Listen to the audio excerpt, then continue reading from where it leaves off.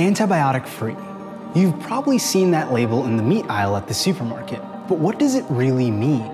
Well, you can probably assume that all the other meat you've purchased without that label contain antibiotics. But is that a bad thing? What makes antibiotics something you would or wouldn't want in your food? Antibiotics can be wonderful. You were probably prescribed some the last time you were sick, and that's because antibiotics are a type of medicine that kill bacteria, especially bad bacteria. They cure infections, and without them, we would all be victims of early deaths. But they can only be effective when used properly, which brings us back to our original question. What makes antibiotics something you would or wouldn't want in your food? Well, seeing as 80% of all antibiotics in the US go to farm animals, they probably are already in it. But why? Well, the simple answer money.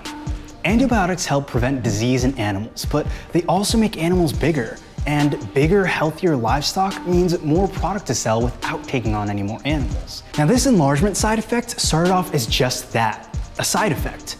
In 1951, antibiotics were approved for use on animals by the FDA as a means of curbing disease on farms. And it makes sense that if you can prevent diseases before they start, you'd want to use those preventative measures all the time, right? So that's what farmers did. But they didn't realize the negative side effects of overusing antibiotics. If you use antibiotics once, it'll kill as much bad bacteria in your innards as it can.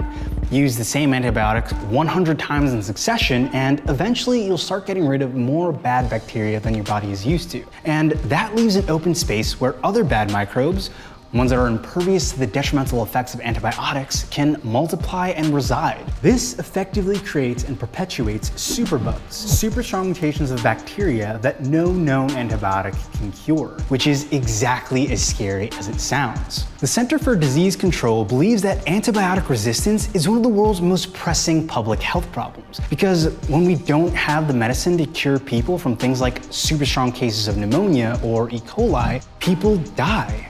And if a superbug starts popping up in livestock that will eventually be consumed, anyone eating meat can be a victim of these dangerous infections. So right now, the food industry is at a crossroads. Antibiotics are incredibly valuable, yet they do come with some risk. How can farmers ensure that they're being used and not abused? Enter the FDA. In 2013, the Food and Drug Administration released a paper that details a plan to eventually phase out the use of antimicrobial drugs in animals. Antimicrobials cover not just antibiotics, but all microorganisms that we're able to cure. While the administration can't ban these drugs entirely, they're looking towards a community plan to offset some of this overuse and hopefully offset the growth of superbugs. This plan would require veterinarians to sign off on any antibiotic treatments with restrictions that those drugs would only be administered to cure diseases and not for growth purposes. This means that vets would need to visit farms, which for the 1.3 million farms in the US means a lot of vets making a lot of house calls. Whether the system works or not remains to be seen, but